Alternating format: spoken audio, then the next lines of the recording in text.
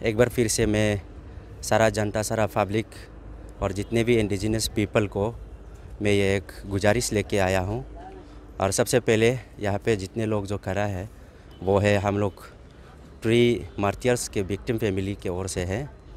सबसे पहले ये सरिंग बंगडी का अपना जिगरी दोस्त, अपना यहाँ का मेमोरी को खुद बना रहा है, दोस्त लोग मिल करके, कोई भी सहारा नहीं है।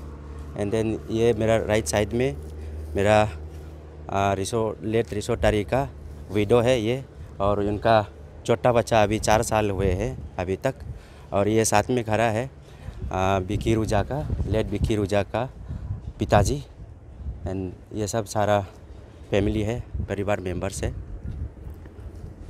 आज मैं सभी से ये मैं अपील लेके आया हूँ कि हम लोग का जो गवर्नमेंट ऑफ़ अरुणाचल प्रदेश को डिमांड जो रखा था, मांग जो रखा था अल्टीमेटम जो दिया था, वो नाइन्थ ऑफ़ डिस मार्च ख़त्म हो जाएगा।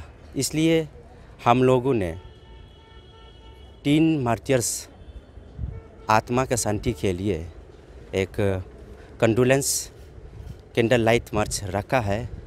वो शुरू होगा आकाशदीप से लेकर के यहाँ तक। शाम का चार बजे से शुरू होगा आकाशदीप से टेनिस कोर्ट तक।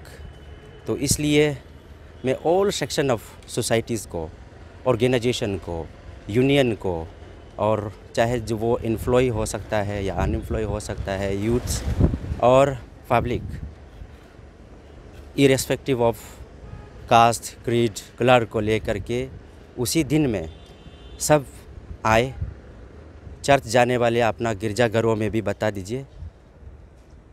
जो जो तरह तरह के जो रिलीजियस को मानते हैं, अपना अपना मंदिरों में भी जा कर के अगर यहाँ पे नहीं आ पाया तो प्लीज़ आप कंडोलेंस कन्वे कर दीजिए। ये एक मैसेज था। एंड सेकेंडली और एक मैसेज है गवर्नमेंट ऑफ़ अरुणाचल प्रदेश को और जितना भी पॉलिटिकल पार्टी को, ये तीन मार्टियर्स के दामन में दाग लगाने की कोशिश मत करना। तीन मार्टियर्स का दामन में दाग लगाने की कोशिश मत करना। अभी पॉलिटिक्स खेलने का समय नहीं है। अभी पॉलिटिक्स खेलने का समय नहीं है। मेरा, हम लोग का जो फैमिली का तरफ़ से, आपसे जितने भी पॉलिटिकल पार्टी हो, चाहे वो कांग्रेस हो सकता है, चाहे वो बीजेपी हो सकता है, पीपीए का हो एनपीपी का हो, मैं सभी से तह दिल से मैं गुजारिश करना चाहूँगा। प्लीज़, मेरे मर्तियर्स के ऊपर में, अरुणाचल के मर्तियर्स के ऊपर में पॉलिटिक्स मत के लिए प्लीज़ बीजेपी वाले भी, कांग्रेस वाले भी ध्यान से सुनिए। मर्तियर्स जो होता है, वो तो जैसे रानी लक्ष्मीबाई जी ने किया था, वो तो जैसे भगत सिंह ने किया था, वो तो जैसे सुखदेव सिंह ने किया था। जब जब देश को खतरा होता है, जब जब देश आने वाला भविष्य को दृढ़ आता है। इसलिए मर्चर लोग जो है अपना हीरो दिखा करके मर्चर्स होता है। इसलिए मैं एक सेंटेंस बोल देना चाहूँगा। Martyrs are symbol of exceptional leadership and heroism in the face of difficulties, circumstances.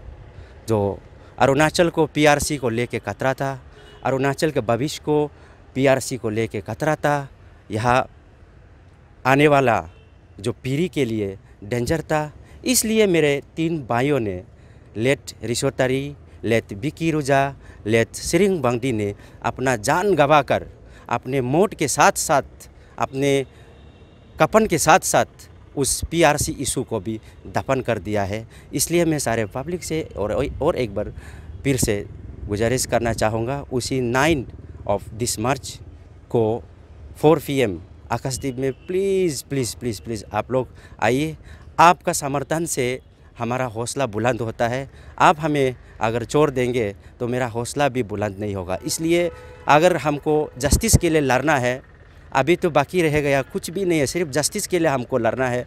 PRC का इशू जो है, ख़त्म है। मैंने पहले भी बता दिया था, वो तीन मर्तियस के कफन के साथ साथ वो भी दफन हो गया। इसलिए अभी हमको जस्टिस के लिए लड़ना है। जस्टिस के लिए पब्लिक की सपोर्ट अरुणाचली की सपोर्ट हमें सख्त ज़रूरत है। इसलिए प्लीज़ आप लोग पीछे मत हटिए पीछे मत हटिए। हम परिवार वाले आगे में रहेंगे आप लोग पीछे मत हटिए। कुछ भी ज़रूरत होगा तो प्लीज़ हम आप लोग के यही संदेश भेजते रहेंगे। जस्टिस के लिए हम तब तक लड़ाई लड़ेंगे जब तक हमको जस्टिस जो है डिलीवर नहीं होता है। इसलिए आ, मेरा भाई लेत रिश्वत तारीख कहते थे कि मरते दम तक पीआरसी इशू के लिए लड़ेंगे। मर भी जाएँगे, मिट भी जाएँगे, लेकिन ये पीआरसी इशू को कभी असेंबली में टेबल होने नहीं देगा। ये उनका कहना था। और सारा पब्लिक और सारा अरुणाचल का यही एक स्लोगन रहा है, जान भी देंगे, खून भी देंगे, लेकिन पीआरसी नहीं देंगे। इसलिए जय हिंद अरुणाचल, जय हिंद अरुणाचली। Thank you